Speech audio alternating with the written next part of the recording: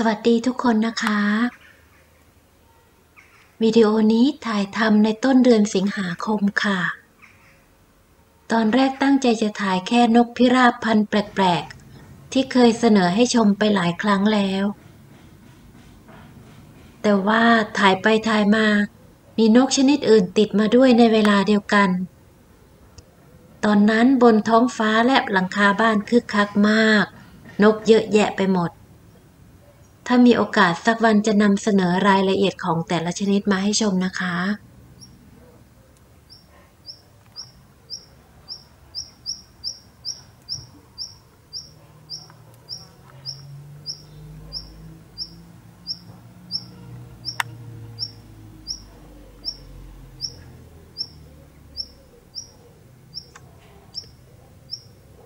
นี่เป็นนกหางแดงตัวผู้นะคะ ตัวขนาดเล็กมาก แต่เสียงมันไม่เล็กเลยจ้า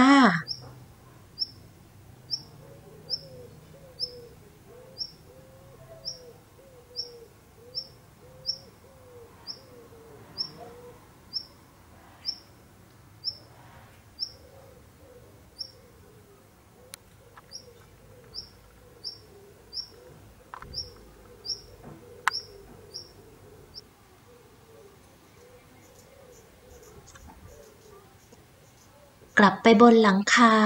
นางนกพิราบพันแปลกๆ มันก็ยังอยู่ที่เดิมอยู่ค่ะ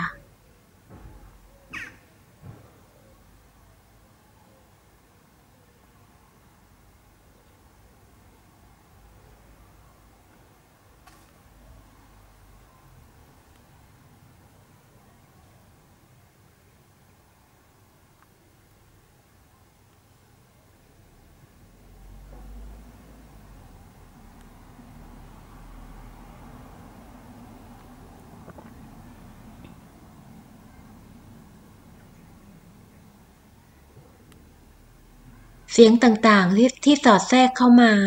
ไม่ว่าจะเป็นเสียงนกอื่นๆ หรือเสียงการ้อง แม้แต่เสียงเพื่อนบ้านที่กำลังใช้เครื่องมือตัดนั่นนี่ เป็นเสียงต้นฉบับที่ไม่ได้ตัดออกเลยนะคะ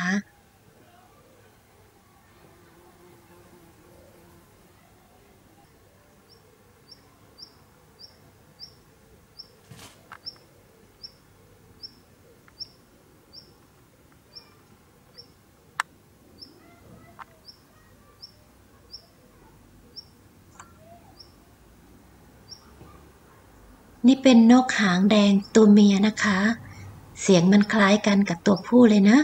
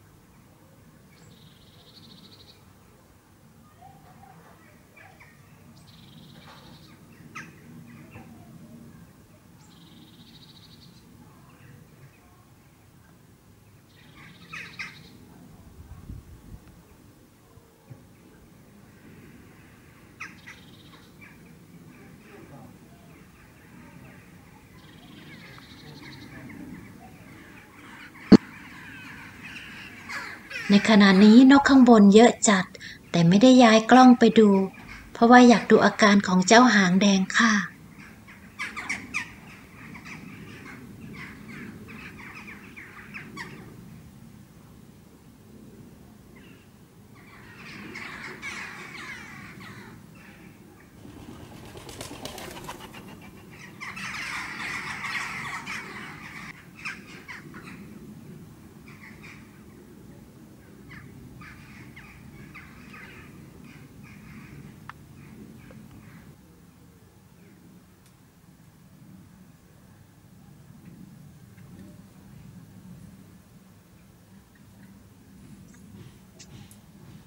สีขนของนางคล้ายกับสีของหลังคาบ้านจนแยกแทบจะไม่ออกเลยนะคะ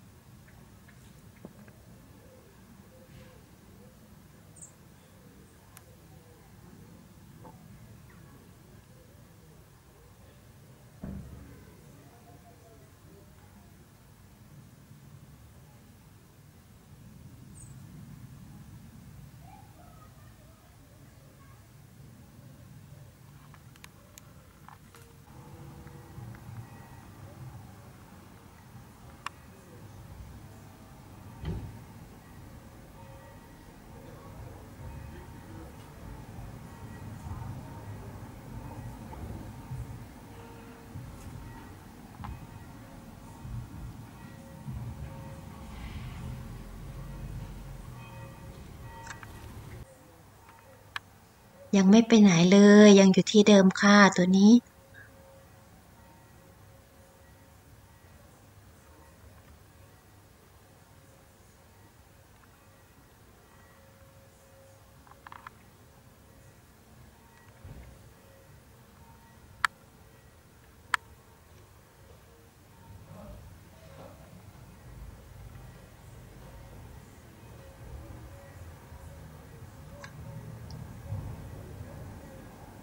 นี่ก็เป็นนกแบล็กเบิร์ดตัวเมียนะคะ บางคนอาจจะจำได้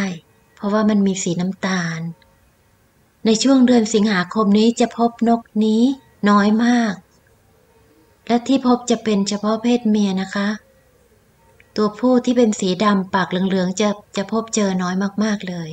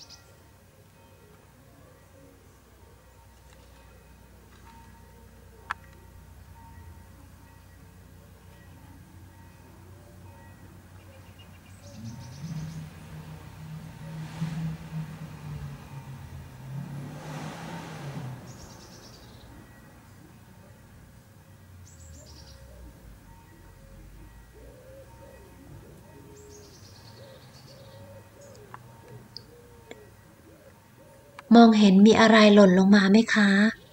สงสัยจะเป็นเศษกระเบื้องหลังคาที่เจ้านกพิราบแปลกทำแตกแล้วก็หล่นลงมาแน่เลย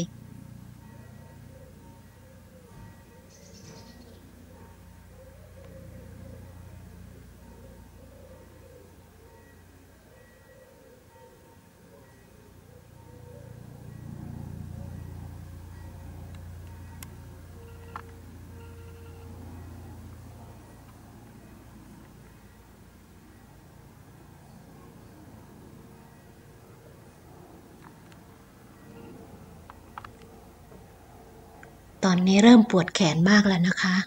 อยากให้นางบินหนีมากเลยอะอยากจะหยุดถ่าย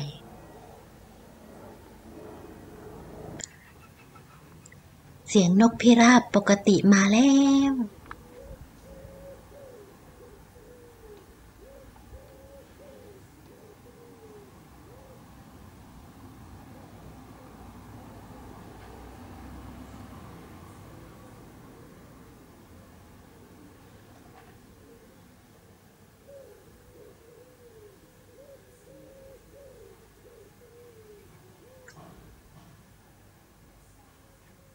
ถ้ามีนกตัวหนึ่งเดินไปหาอีกตัวหนึ่ง มันจะมีหนึ่งในสองอย่างที่เป็นไปได้นะคะ คือมาขอเป็นเพื่อน หรือว่าจะมาไล่ที่กัน คอยดูนะคะว่าจะเป็นแบบไหน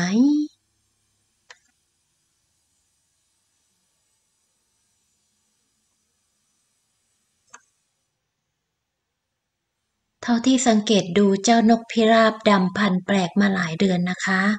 มันค่อนข้างจะขี้กลัวนกชนิดอื่นไม่น้อยเลยค่ะ สงสารมัน บินก็ไม่เก่ง ทุกคนคงเห็นตอนต้นวิดีโอแล้วท่าบินมันจะแปลกๆไม่เหมือนใคร แต่ในที่นี้ก็ต้องขอบคุณเจ้านกพิราบปกติที่มาทำให้มันบินจากไป เราจะได้หยุดถ่ายสักทีเหนื่อยมากเลย เมื่อยแขนนะคะ ขอขอบคุณทุกคนที่รับชม ถ้าชอบอย่าลืมกดถูกใจแล้วก็กดติดตามเพื่อเป็นกำลังใจให้ด้วยนะ